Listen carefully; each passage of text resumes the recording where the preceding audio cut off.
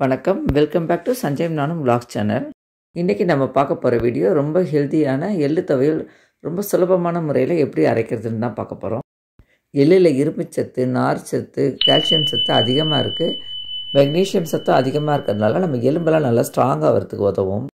முடி கொட்டுறது ஞாபகம் மறதிக்கு ரொம்ப நல்லது. இவ்வளோ சத்துக்கள் இருந்து இந்த எள்ளு துவையல் எப்படி அரைக்கிறதுன்னு பார்க்கலாம் வாங்க. இப்போ நம்ம துவையல் வறுக்க ஸ்டார்ட் பண்ணிடலாம். ஒரு பேன் வச்சுருக்கேன். ஒரு ஸ்பூன் அளவுக்கு கருப்பு எள்ளு சேர்க்குறேன். நல்லா ஒரு பெரிய ஸ்பூனில் நான் சேர்க்குறேன். எள்ளு வாசனை வர வரைக்கும் நல்லா பொரியட்டும் மூடி வச்சிடலாம். இல்லைன்னா மேலெல்லாம் வெடிக்கும். எள்ளு பாருங்கள் நல்லா பொரிஞ்சு வருது.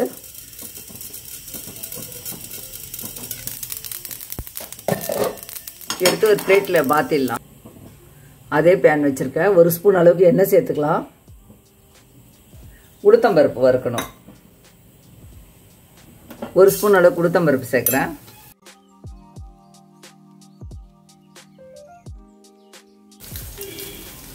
கூடவே நாலு மிளகா வத்தல் போடுறேன்.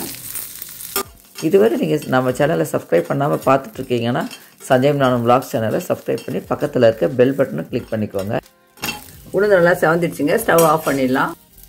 எள்ளு வச்ச பாருங்கள் அதே இதுலேயே இதையும் சேர்த்துடலாம்.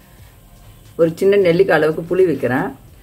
கல் உப்பு ஒரு அரை டீஸ்பூன் அளவுக்கு நான் கல் உப்பு தான் சேர்க்குறேன்.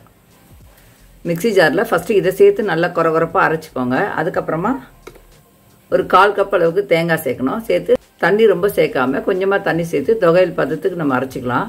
நானும் அரைச்சிட்டு காமிக்கிறேன்.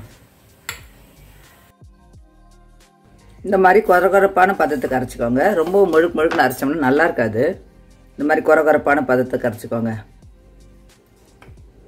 அவ்வளோதாங்க எள்ளு துவையல் நல்லா ரெடி ஆயிடுச்சு. நம்ம இதை ஒரு வேற ஒரு பவுலில் மாற்றிடலாம் நல்லா மணக்க மணக்க எள்ளு துவையல் அரைச்சிருக்கோங்க. நல்லா வாசனையாக இருக்கும் இந்த துவையல். இது சாதத்தோட மட்டும் இல்லைங்க.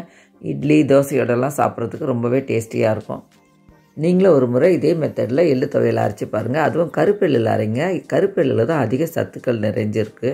நீங்கள் பார்த்த இந்த வீடியோவை உங்கள் ஃப்ரெண்ட்ஸோடவும் ஷேர் பண்ணுங்கள் மறக்காமல் லைக் பண்ணி சஞ்சய் நானும் vlogs சேனலை சப்ஸ்கிரைப் பண்ணி பக்கத்தில் இருக்க பெல் பட்டனை கிளிக் பண்ணிக்கோங்க.